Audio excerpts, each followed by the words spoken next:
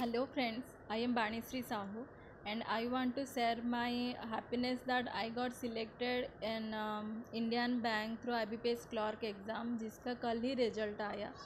And um, uh, मैं बहुत खुश हूँ कि uh, तीन साल के प्रिपरेशन के बाद मैंने फाइनली जॉब ले ली. एंड मैं अपने बैंकिंग प्रिपरेशन लाइफ के बारे में कुछ शेयर करना चाहती हूँ. Uh, मेरा प्रिपरेशन स्टार्ट हुआ था 2017 से। एंड 2017 में मैंने फ्रेश में ही आरआरबी क्लर्क का प्री एग्ज़ाम क्लियर की थी।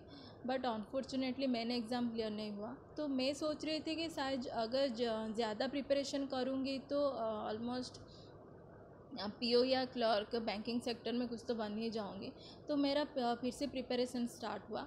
एंड uh, 2018 में सारे क्लर्क एग्ज़ाम मेरे प्री क्लियर हुए थे बट पीओ के नहीं हुए थे।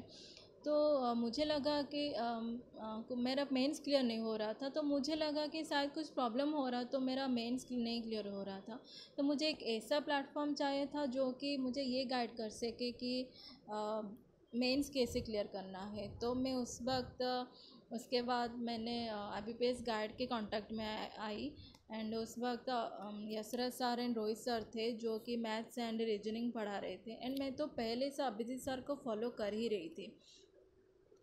एंड um, मैंने फिर से प्रिपरेशन स्टार्ट की गाइडली के through and two thousand nineteen में मैंने फिर से मेरा एग्ज़ाम देना स्टार्ट की। फिर से मेरा प्री क्लियर क्लियर होना स्टार्ट हुआ एफ़ एग्ज़ाम से। And F C exam E S I C L I C assistant R R B clerk R R B P O सारे एग्ज़ाम के मेरे प्री क्लियर हुए थे। बट एक भी मेन एग्ज़ाम मेरा क्लियर नहीं हुआ था। तो बहुत फ्रस्ट्रेशन लग रहा था, बहुत दुख लग रहा था कि मेंस नहीं क्लियर हो रहे। Finally I B P S P O के मेन्स एग्ज़ाम क्लियर हुए इंटरव्यू तक गई।